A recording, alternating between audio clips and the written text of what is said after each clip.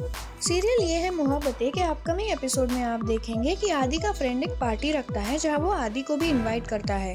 आदि इशिता को इन्फॉर्म करता है कि वो पार्टी से लेट हो जाएगा। आदि लेट हो जाता है और इशिता को चिंता होती है कि आदि अब तक घर क्यों नहीं पहुँचा। इसी चिंता में वो अपने आप को रोक नहीं पाती और आदि को लेने उसके फ्रेंड के यहाँ पहुँच जाती है।